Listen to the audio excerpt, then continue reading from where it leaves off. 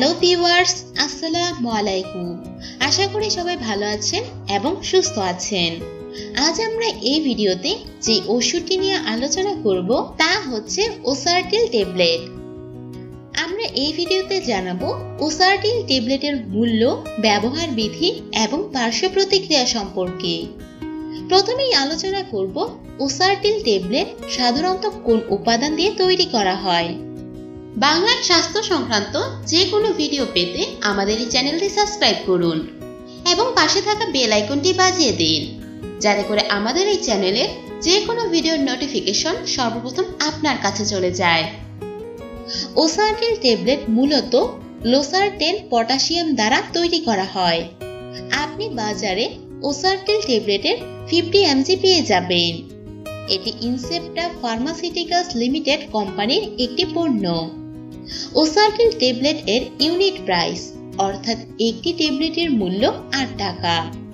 আর আপনি এক প্যাকেটে পঞ্চাশটি ট্যাবলেট পাবেন, সুতরাং এর মূল্য দাঁড়াবে চারশো টাকা।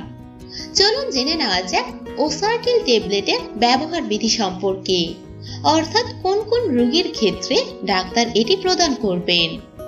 এক, উচ্চ রক্তচাপ। দুই, ডায়াবেটিস রোগীর কিডনির সুরক্ষায়।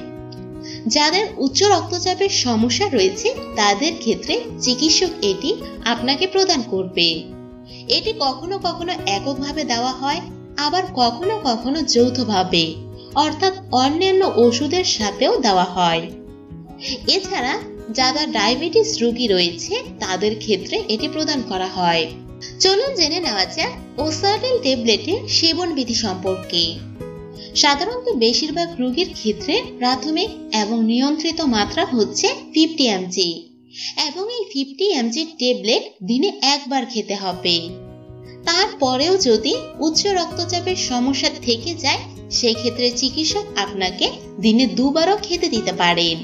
আলোচনা করব ওসার্টিল ট্যাবলেটের পার্শ্ব প্রতিক্রিয়া সম্পর্কে। ওসার্টিল ট্যাবলেটের কিছু পার্শ্ব প্রতিক্রিয়া রয়েছে, তবে সেগুলো সব রোগীর মধ্যে প্রকাশ পাবে এমনটা কিন্তু নয়। চলুন জেনে নেওয়া যাক সেই পার্শ্ব প্রতিক্রিয়াগুলো সম্পর্কে। এক, এই ওষুধটি সেবনের ফলে আপনার ডায়রিয়া হতে পারে। দুই, নাক বন্ধ হয়ে যাবে। তিন, সর্দির সমস্যা হবে। চার খিচুড়ি হতে পারে। পাঁচ, পেটের ব্যথা হতে পারে। ছয়, বমি বমি ভাব হবে।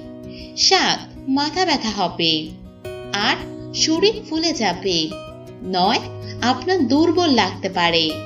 দশ, আপনার শরীরে র্যাশ দেখা দিবে। আলোচনা করব গর্ভাবস্থায় এবং স্তন্যদানকালে উসার্টেল ট্যাবলেটের ব্যবহার বিধি সম্পর্কে। যদি গর্ভবতী মা দ্বিতীয় এবং তৃতীয় ট্রাইমিস্টারে এই ট্যাবলেটটি ব্যবহার করেন, তাহলে তা ভ্রূণের জন্য ঝুঁকিপূর্ণ হয়ে যায়।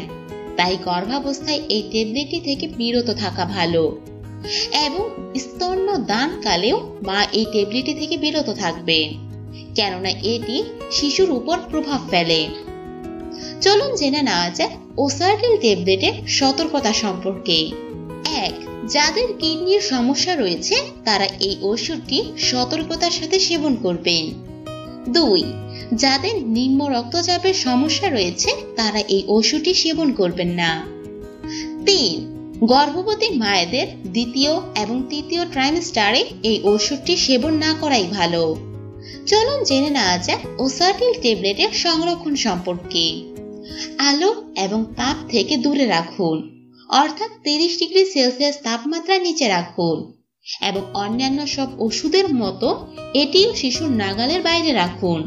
তো ভিওয়ার্স এই ছিল আমাদের আজকের আলোচনার বিষয়। যদি এই বিষয়ে আপনার কোনো কিছু জানার থাকে কিংবা কোনো ধরনের প্রশ্ন থাকে, সেক্ষেত্রে অবশ্যই আপনার প্রশ্নটি কমেন্ট বক্সে লিখবেন। আমরা যথাসাধ্য আপনার এই প্রশ্নটির জবাব দেওয়ার চেষ্টা করব। আর আমাদের এই ভিডিওটি ভালো লেগে থাকলে অবশ্যই লাইক কমেন্ট এবং শেয়ার করবেন। আর বরাবরের মতো সবসময় আমাদের পাশে থাকবেন। সবাইকে ধন্যবাদ।